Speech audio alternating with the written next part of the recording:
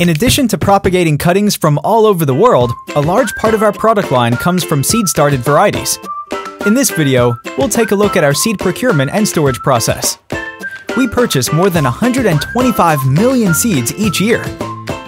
Our purchasing team and sales manager work closely together to choose the best seed varieties for our customers each season.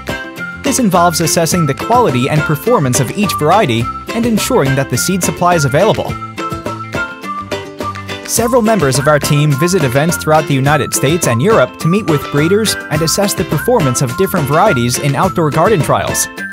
Customer pre-orders placed ahead of the season play a significant role in determining the quantity of seeds to be purchased.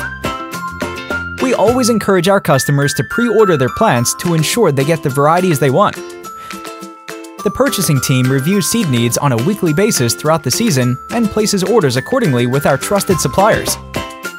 Ball Seed, a broker distributor in West Chicago, serves as our main supplier, sourcing seeds from all over the world.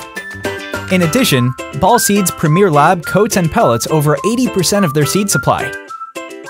Coating is a process used to make seeds a little heavier and smoother, so it's easier for the seeding machines to accurately pick them up and place them in the trays. Specialized coating machines pump the coating solution onto the seeds while they're kept suspended inside a tube using air pressure. Several coats are done, and the final bright yellow coat helps with seed visibility during the seeding process. Pelleting is a similar process, used for small seeds like begonias that are hard to see at all or pick up individually in seeding machines. Pelleting makes the seeds more visible, adds weight, and improves placement on the soil. Plus, it standardizes seed sizes for automated seeding machines. The pelleting process begins by adding a wetting agent to the seeds in a rotating pan, followed by a proprietary mix primarily composed of clay until the desired size is achieved. For small batches, the process is done by hand, but for large batches, an automated system is controlled by a computer. The computer stores many different recipes and measures the moisture added to the pan to ensure the finished seeds are the perfect size. Uniformity is essential in both the coated and pelleted seeds, which is why Ball's quality control department ensures that the finished coated and pelleted seeds are soft enough to dissolve once watered, but strong enough to withstand fragmentation during shipping and storage. Ball also offers primed seeds that have been enhanced and brought just to the point of germination and then dried down. This amazing process can cut up to two weeks off the grow time and produces a more vigorous product. After the seeds are coated with a primer and incubated for 7 to 9 days, they are moved to the drying room where the germination process is stopped before the seeds are packaged and shipped.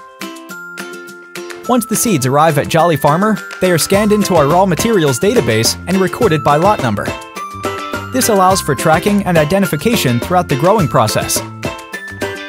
We take quality control seriously, and our growers review the performance of each seed lot to ensure that they are up to our standards.